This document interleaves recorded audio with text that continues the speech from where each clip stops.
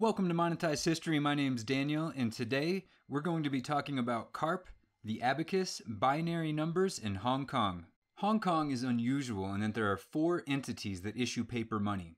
The Hong Kong Monetary Authority exclusively issues the $10 note and authorizes three commercial banks to issue notes as well the Bank of China, the Hong Kong and Shanghai Banking Corporation, and Standard Chartered Bank. Today, we're talking about the $20 note issued by SCB from the 2010 series commemorating Chinese heritage and technology. This particular note was issued in 2014 and features an array of security features to prevent counterfeiting. The 20 in the top right corner of the obverse is printed with color changing ink. Below this is a watermark of the bauhinia flower, the same flower featured on Hong Kong's flag. The red serial numbers on the right glow under UV light, and like the other serial number, features progressively larger digits.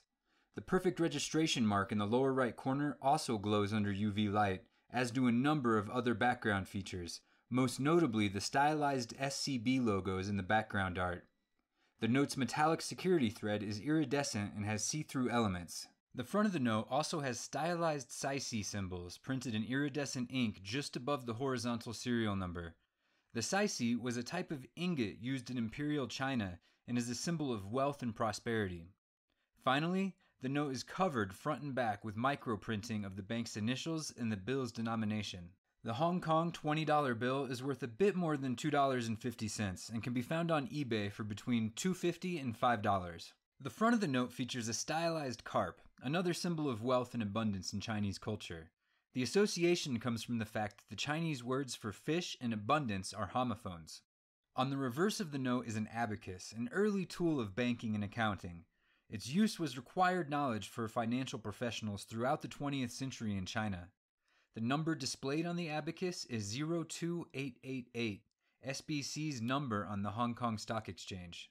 The final major design element on the note is binary numbers.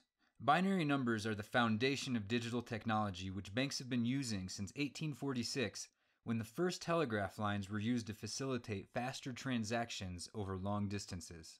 That's all for today. Thanks for tuning in. Do you have any Hong Kong notes? What did you think of the video? Let me know in the comments and don't forget to like and subscribe.